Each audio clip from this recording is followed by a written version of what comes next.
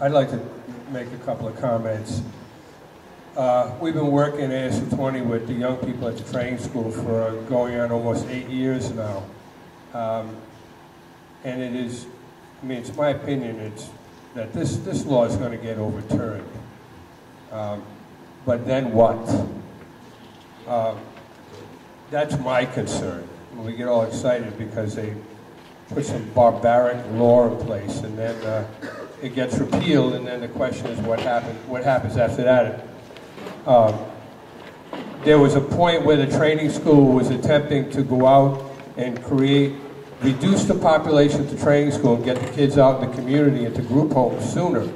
Uh, and yet, it was very difficult to find people in the community or a place that was willing to create the group homes in the community. So although I appreciate people's passion and angst about all this, uh, it has been my experience that it's difficult to find people even in the community to help support these young people. And there are opportunities to mentor, uh, to buddy up with some of these kids as they get out.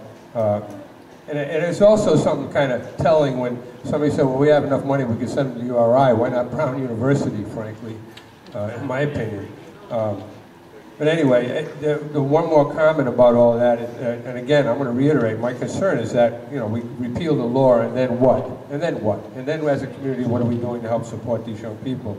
Um, uh, one thing that kind of crosses my mind is that there's been a lot of assessments and evaluations and discussions about best, best practice and what it's going to take we know the challenges. We know really well what some of the challenges are with some of our young people in terms of reading and writing and just job skills and competitiveness in the job market and these kinds of things. We know what we need.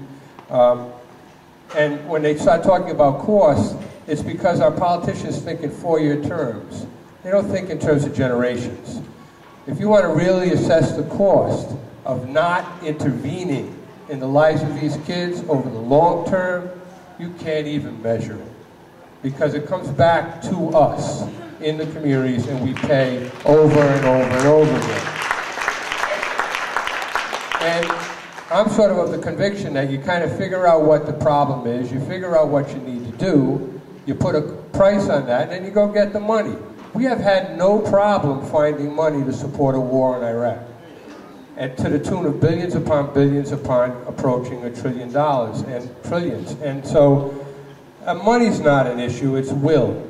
It's absolutely will. And it's not just, and putting all the blame or the position on, it's, obviously this is barbaric, but putting all that responsibility on these politicians, um, I haven't found that people in the community have been altogether that responsive in trying to mentor and help support some of these young people, frankly.